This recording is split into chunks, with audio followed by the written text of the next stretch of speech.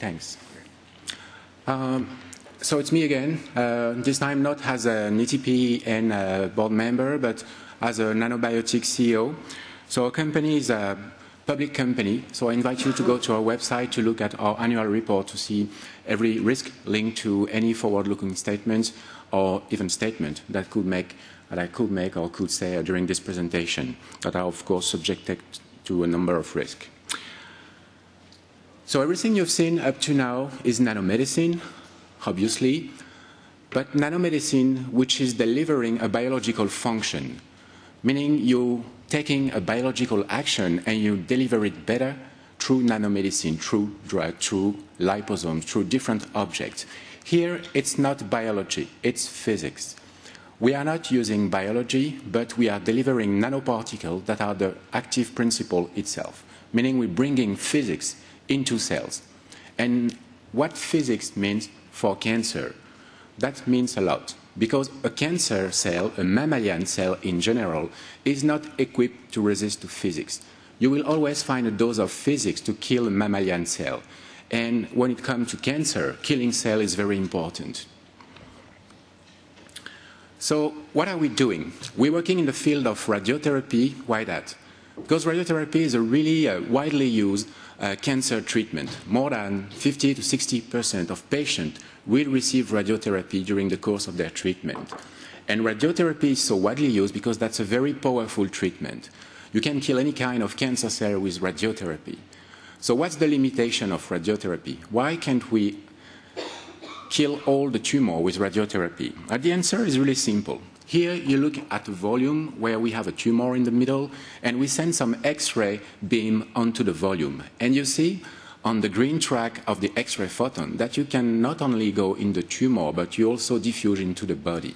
And you're creating damages in yellow on the picture before the tumor, after the tumor, and within the tumor.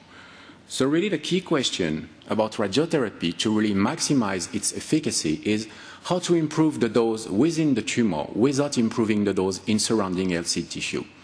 That's kind of the holy grail of radiotherapy. And if we can do this, then we can certainly bring some benefit to patients in meaning, I mean, meaningful benefit in different clinical situations. So to do so, we've developed nanoparticle to go into cells. And that's the only reason why we needed nanoparticle, is to be small enough to go into cells. But being small is not enough in that kind of applications because we need two other key functions. And the first one being the ability of nanoparticle to absorb X-ray because you want to absorb X-ray to deliver more dose into the tumor. And of course, those products, they are injected into humans, so you also need to have a non-toxic product. So among all the products we could have chosen, we have chosen the hafnium oxide nanoparticles because they exhibit the best benefit benefit risk ratio for that kind of applications. So not going into details, but we can expand later if you wish. When you have such a nanoparticle within the tumor, you apply the appropriate and normal dose with the normal equipment and normal protocol to patient, delivering an average dose within the tumor and healthy tissue. But, but where you will find nanoparticle within the tumor, then you will increase largely the dose deposited within the tumor, and therefore you can increase the therapeutic window for radiotherapy. That's a very simple physical principle. But to deliver it into the tumor, we had to develop three different products, and today we're going to focus on the first one, which is under clinical trial. It is a product what, that we deliver directly into the tumor or via an intraarterial route. And for that particular tum- uh, product, sorry, uh, we can target different diseases like hepatocellular cancer, but also esophageal cancer, rectal cancer, some of the prostate cancer. And the first indication we have chosen is soft tissue sarcoma. Why soft tissue sarcoma? Because obviously there is an unmet medical need, an important one for patient and healthcare system around this disease and also because that is a disease that is helping us to de-risk the entire project what can we say about de-risking the project, or what are the key things we want to demonstrate into clinic to be sure that the product uh, it is safe and it is working. First, you want to be sure that the safety is okay, regardless of the quantity you're injecting in the body. Then the feasibility of intratumoral injection, regardless of the size of the tumor and regardless of the structure of the tumor.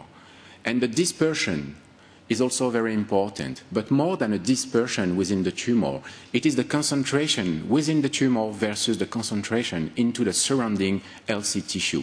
That's the key point about the technology, about the product, because you want to have the product at the right place at the right moment, but not in the surrounding healthy tissue. And of course, the efficacy, which is dependent on the indication and the expected benefit for patient. So we have chosen a population in soft tissue sarcoma uh, where they develop tumor into limbs, extremities. And uh, we have aggressive tumor or tumor with a bad prognostic.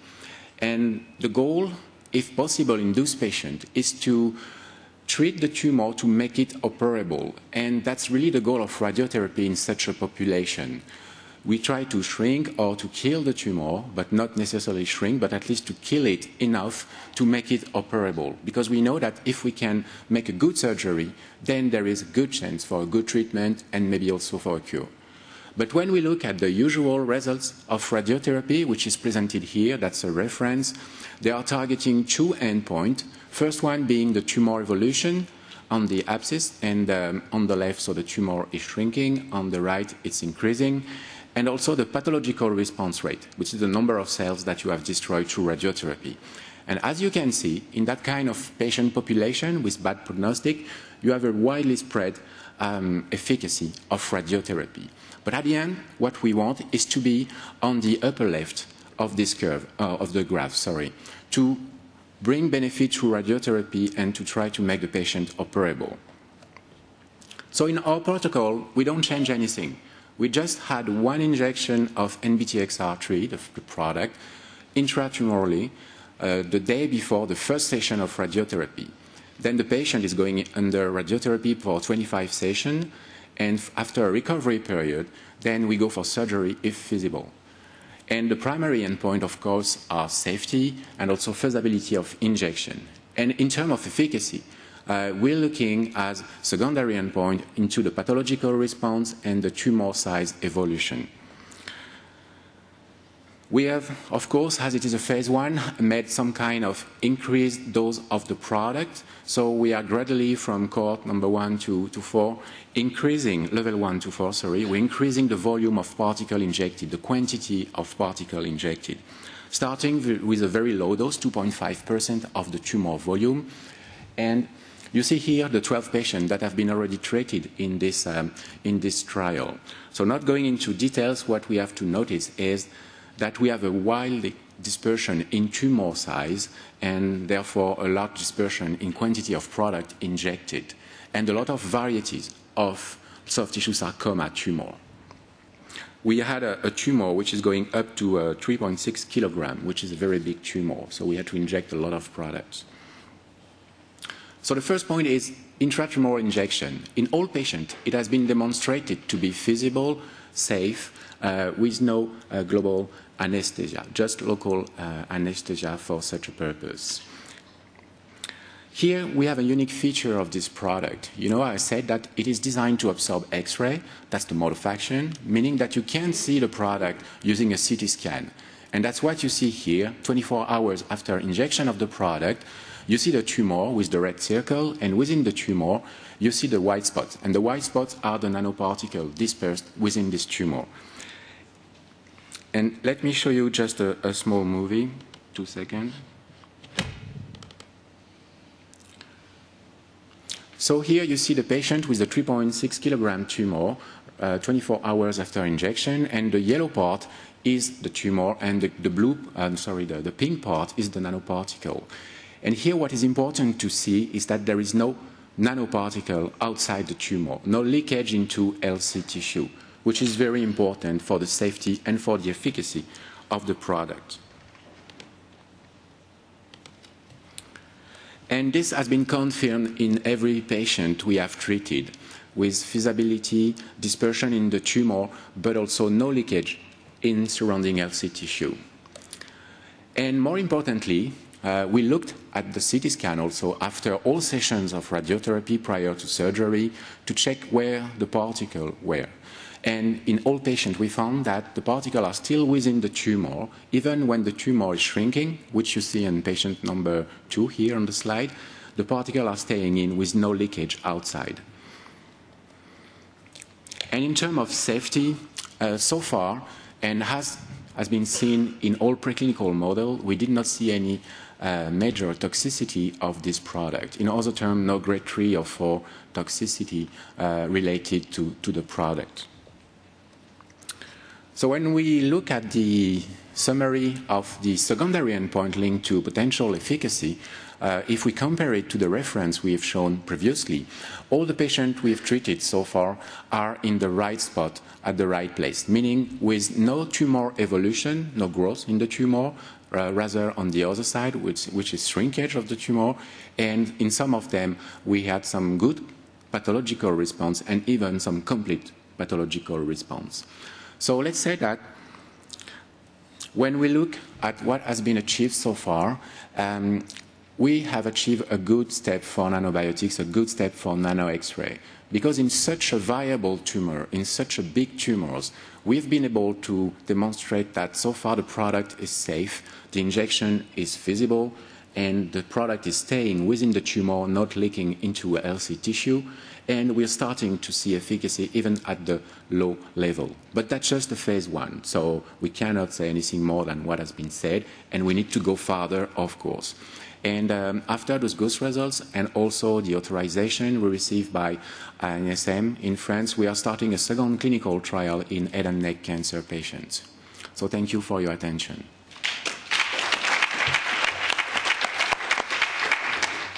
Thank you very much for your nice talk questions? Uh, Always you asking question, right? That, that's a nice result. So just probably I, I, I missed catching um, the why you are looking at nano uh, particles when you are injecting intratumorally. Uh, if the job can be done with micron-sized uh, several hundreds of microns particles, I mean, what benefit okay. you're getting? So you can't do this with big particles because you need the particles to be delivered within the cells because when you increase the dose around nanoparticles, you don't increase the dose within the whole tumor. You increase the dose around nanoparticle by ninefold. And if you have big nanoparticles that cannot go into cells, uh, then you will just increase the dose outside the cell. So you will have spoiled dose. Because we really need to have nanoparticles that can efficiently reach uh, nearby the nucleus to, to be efficient. So there is a limit in size which is not or less efficient. Of course, we have used different size during the development to be sure that we are using the right size. But we see that when we are too small or too big, it's not working anymore. You've probably partly answered the question. What about the final fate um, of the So that's not a single answer question. Um, we have chosen inert non-degradable particle because mm. the risk was lower than having degradable uh, particles. Um, you have several situations. You, you have situations where, like soft tissue sarcoma, the goal is to make surgery. And uh, so when you will make surgery, you will remove the particle with the remaining tumors. But there is other clinical situation where you don't want to make surgery, like when you're doing final treatment or when you treat a, a, a tumor bed, for example. So here there is different phase for nanoparticles. Most of the time, when the tumor start starting to die, then macrophages can come and they are cleaning the area from dead cells, but also from nanoparticle. Then the particle will go back into the, the systemic distribution of the body and most likely will end into liver and spleen for long-term elimination. That's why when we looked at the uh, toxicity profile of such a product, of course we look at it from a local perspective, but also from a systemic perspective. I think that's sure. really important. Yes, to be sure smart. that we are covering every aspect. But you, you, have to remember, remember that when it goes back into systemic, that it'll probably carry with it some junk that it picked up from for sure from the tumor yes. as well as the systemic yeah. system. But anyway, you've got the you've got the picture anyway. So. Yes.